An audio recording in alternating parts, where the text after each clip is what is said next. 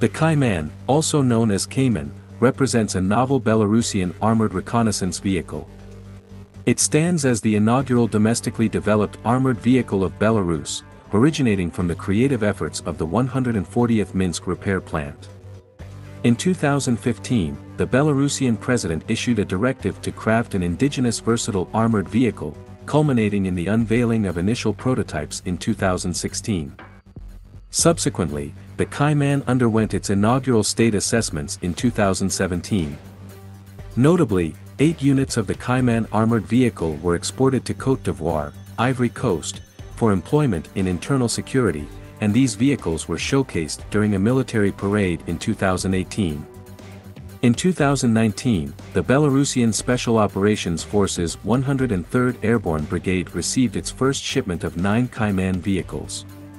The year 2022 witnessed the Kaiman's presence in Angola during a military parade. The Kaiman is constructed upon a significantly modified chassis derived from the Soviet BRDM-2 armored scout car, albeit boasting enhanced contemporary design elements. Initial production models featured adapted BRDM-2 hulls, while subsequent iterations incorporate freshly fabricated hulls. Distinguished by a redesigned hull, the Kaiman offers a more spacious interior than the original BRDM-2. Moreover, its partial V-shaped design contributes to enhanced resistance against landmines. Notably, the addition of doors on both sides facilitates quicker and more convenient entry and exit for the crew and passengers, even doubling as protective shields if necessary. Noteworthy alterations encompass the comprehensive redesign of the front section, wherein the two forward armored windows with shutters have been replaced by a broader bulletproof windshield. To bolster situational awareness, angled side windows have been introduced, a marked departure from the limited driver's field of view characteristic of the original BRDM-2. In terms of protection, the Kaiman exhibits a relatively modest level akin to the BRDM-2.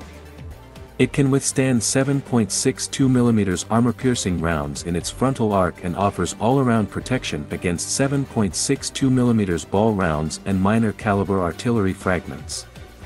Interior-wise, a spall liner lines the interior surfaces. The Belarusian Kaiman's external aesthetics share certain resemblances with the Fennek reconnaissance vehicle, although lacking the sophisticated sensor suite of the latter. The Kaiman accommodates a crew of two alongside four scouts, with room for an additional four passengers in emergency situations.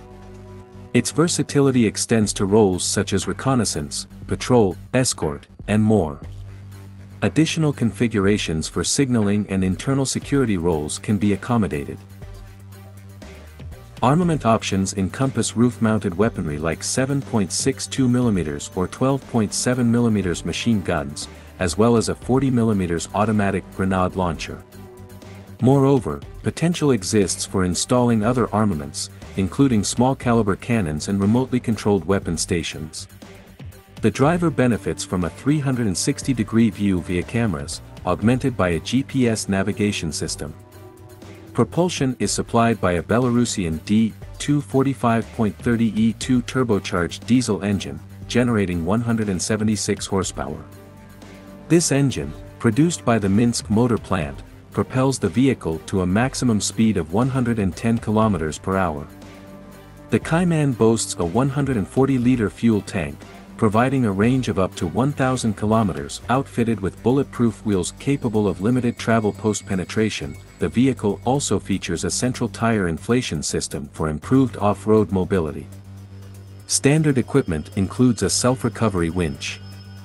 Amphibious capabilities are present, allowing the Kaiman to reach speeds of up to 8 km per hour in water via rear water jets.